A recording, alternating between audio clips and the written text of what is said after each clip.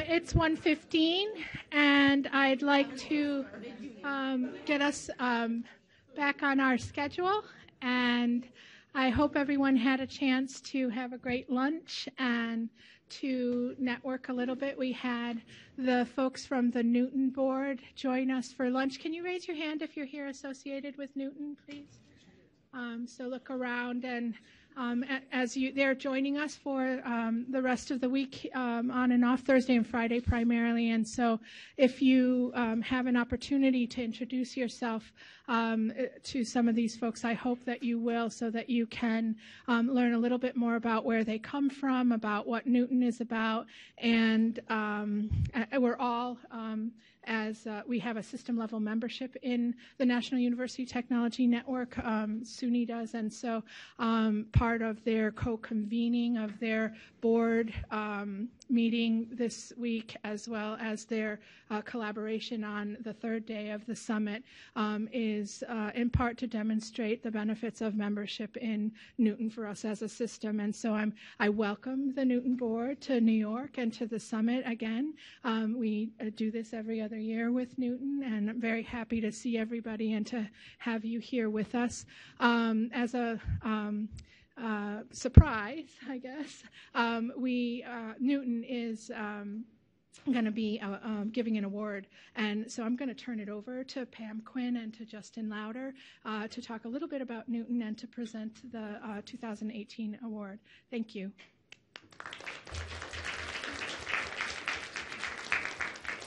Good afternoon, and thank you so much for allowing us to um, join your activities and participate as both participants and watching what you are learning. Um, you do so many wonderful things and have contributed so much to the field individually and collectively, so we thank you for that.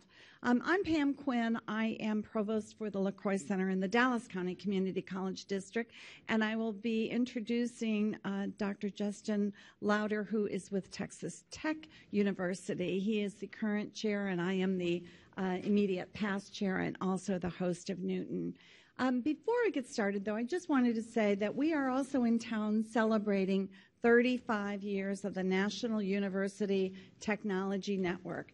But the National University Technology Network started out as the National University Teleconferencing Network.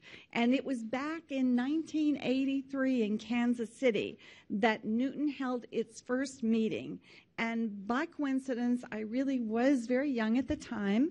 My boss in Dallas asked me to go to Kansas City to learn about teleconferencing, and literally, I had no idea how satellite teleconferencing worked. Um, knew about distance learning. I've been working for our PBS station and, and knew about telecourses, but what about satellite and how are institutions using satellite to teach and learn?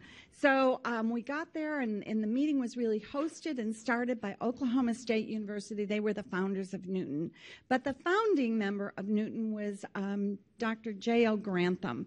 And J.O., I remember him being in this big hall at the Hyatt in Kansas City explaining how teleconferencing worked. And he used this high tech thing called a flip chart to explain how teleconferencing worked.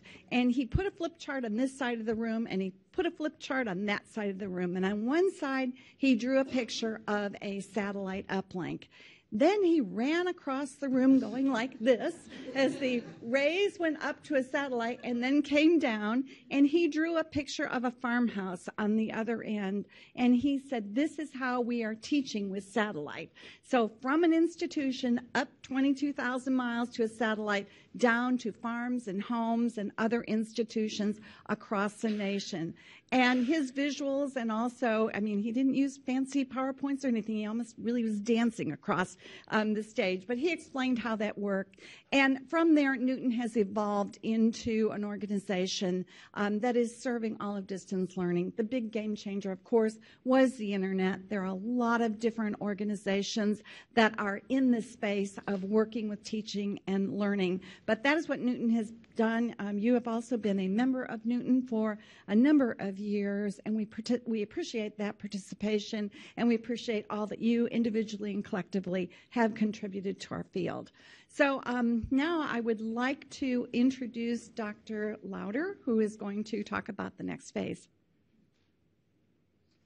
Thank you, Dr. Quinn. In 2001, the National University Technology Network, or the NUTN Advisory Board, established the Nofflet Williams Service Award in honor of the contributions and memory of Dr. Nofflet Williams, one of the founding members of NUTN Network. Dr. Williams provided service to hundreds of individuals in the area of distance education at the local, regional, and national levels. This award recognizes an individual who exhibits over a substantial period of time and in a consistent manner the commitment to providing service to those in the field. It signifies the individual is acknowledged to be a contributor, a mentor, a doer, and a leader at the national and international level. Since the central core of NUTN is to provide service in the exchange of experience, practice, and theory to all in the organization in a free manner, this award is doubly significant. The Nofflet Williams Service Award is presented on an annual basis by the NUTN Board to an individual who is seen as providing an outstanding example of service to the organization and to others in the field of distance education. And I'd ask Dr. Quinn to introduce this year's recipient. Thank you. This is an extremely um, important award because it is selected um, not just from NUTN members, but from people throughout the country. And it really, the emphasis is on service to the field and service to um, individuals. And um, today's honoree um, works at WCET and organizes national policy and research activities edits WCET's Frontier Frontiers blog and coordinates WCET's research effort and works on the e-learning consortia issues.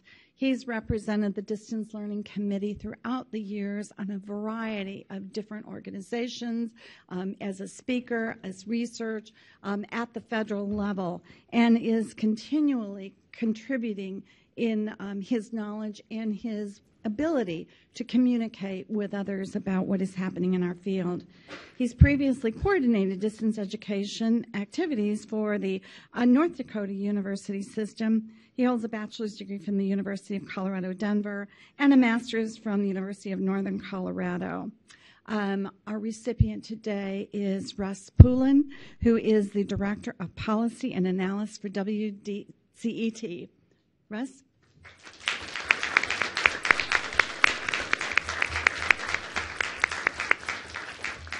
Congratulations.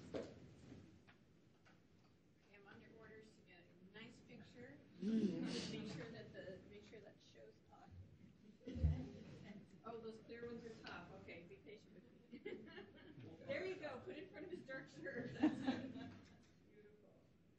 All right. The class is going to be so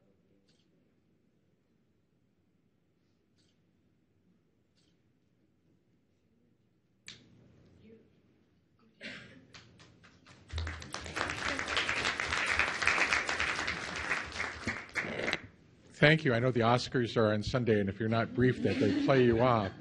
Uh, and that we, have come in here. Uh, thank you so much to NUTN. Thank you to uh, to to Pam and to Justin for this. And uh, this is a a great honor. And the, the one thing I have to say is that in working in, in policy issues at the whether it be at the national level or the state level, is that the only way that we make difference is that if we get together and work together, uh, because they policymakers respond when a lot of us come together and they respond when there's a uh, uh, by volume if we start writing if we start making a difference. And so uh, i get to speak to you on friday. We'll talk about some things that maybe you like maybe you don't like so much.